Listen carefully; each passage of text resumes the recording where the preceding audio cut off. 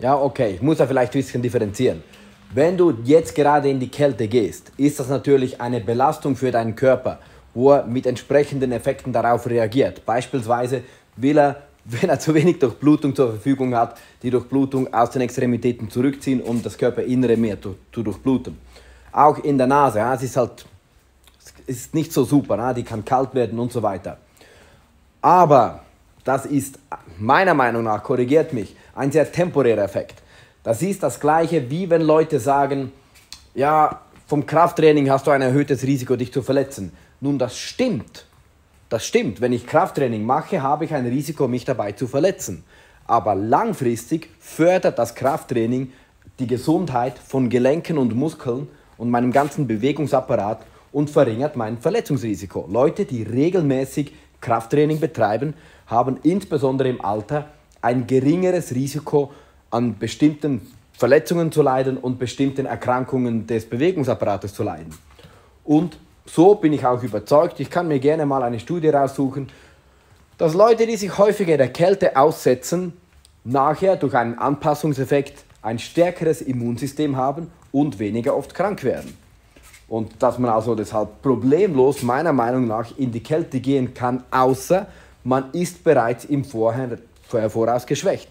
Dann logischerweise nicht. Wie wenn ich einen kaputten Fuß habe, dann gehe ich auch nicht joggen oder Krafttraining machen, sondern warte, bis er geheilt ist. Und wenn ich halt eh schon körperlich mega geschwächt bin, dann sollte ich mich vielleicht nicht 0 Grad Wetter aussetzen.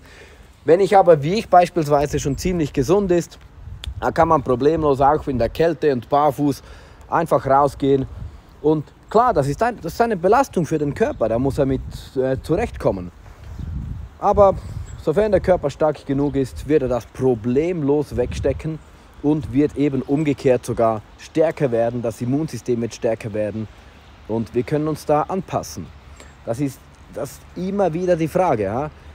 Ähm, es gab mal eine schöne Studie, wo genau über Krafttraining, wo gesagt wurde, dass eine bestimmte Ausführung ähm, ein massiv erhöhtes Verletzungsrisiko hat, einfach weil es erhöhte die Belastung eines bestimmten Muskels. Und ich so, ja, aber das ist ja genau das Ziel von Krafttraining, diesen Muskel zu belasten, damit er eben nachher stärker wird. Und genau die gleichen Effekte, ja. Wenn ich zwei Stunden Mathematik übe, habe ich nachher auch eine geringere Konzentrationsfähigkeit, zumindest temporär.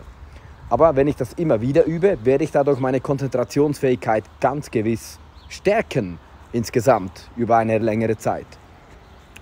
Und deshalb werde ich mir auch niemals Angst machen lassen vor der Kälte, sondern im Gegenteil, ich hätte Angst vor zu großer Bequemlichkeit, die mich schwach